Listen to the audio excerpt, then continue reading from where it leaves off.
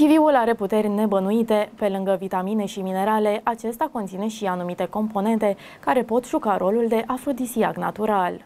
Conform știrile protv.ro, Kiwi înlocuiește cu succes tratamentul medicamentos gen Viagra, asta dacă îl amestecați cu 3 lingurițe de zahăr, o ceașcă de ceai de tei și 150 de grame de rom. Efectele afrodisiace ale acestei combinații au fost înregistrate atât la bărbați cât și la femei. În plus, Kiwi conține numeroase minerale și vitamine necesare bunei funcționări a organismului, magneziu, fier, calciu, vitamina E, B6, 6C, acid folic, magneziu, crom, potasiu, sodiu, seleniu, dar și proteine și fibre.